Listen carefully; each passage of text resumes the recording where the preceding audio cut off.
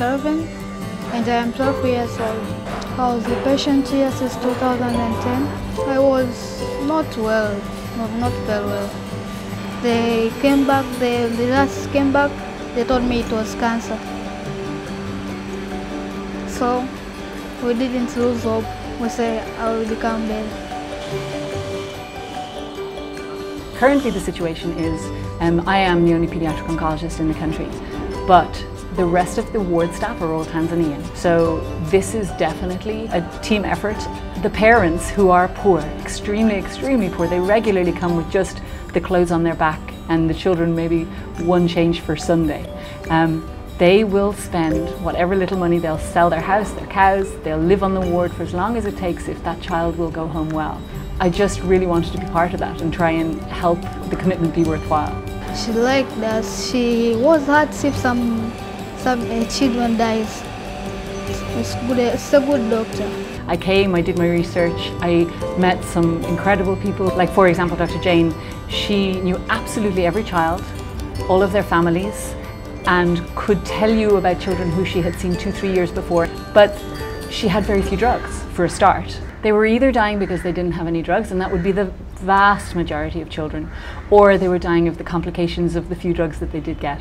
For the children who arrived in 2005, there was probably about a 10 or 12% long-term survival, if even that. Naitwa Yasir Rajab na miaka kumi na tatu, nasoma darasa la tano, natokea Zanzibar. There was so much that we could do to improve things, and the key one was giving the children their chemotherapy free of charge. And so that was something we needed to work on and find donors to help us with. Mchezo ninaipenda nesi, ninampenda Almasi. Children in Crossfire found me on the ward one day, elbow deep in children, and uh, they just liked what we were doing and could see the need, and they just completely like believed in what we wanted to do. Children in Crossfire is assisting us with chemotherapy drugs. For the past two years, I think we don't have the shortage of chemotherapy drugs. Everything is available for our children.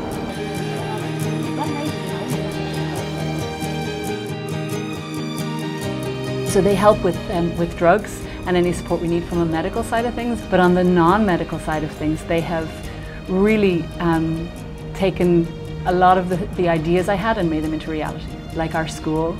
So um, we started with a few children and one volunteer under a tree, and we're soon to have three classrooms, two teachers, the teacher's assistant, and a play therapist, and that's all come through Children in Crossfire. It's one thing to give them drugs, but if you don't give them hope, I don't know that the drugs will always work. In the future, I like to be a doctor because uh, to see my friends suffering here in the hospital, it was hurting me. So he has probably six months of his treatment left to go. He, he's the type of child who could come back and help us on the ward as a doctor in the future.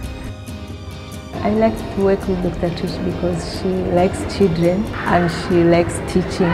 She makes a good team. She wants all the nurses, all the doctors to work together. She can listen to my advice and I can listen to what she's, she wants to tell me.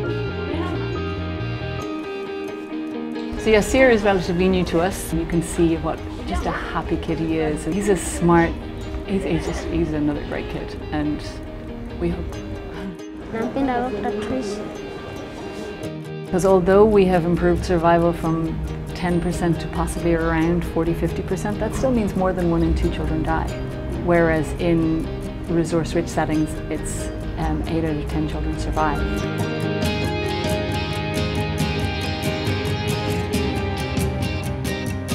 So now we definitely couldn't do without Children in Crossfire. Just getting drugs for all of those children. That has to be, I guess, the primary concern is making sure everyone gets their treatment. Um, and, and then there's everything else, you know? And it's from small things to like letting the children have footballs and clothing and, you know, extra food to eat, books in Kiswahili. We have come a long way, but um, there is still an awful lot of room for improvement.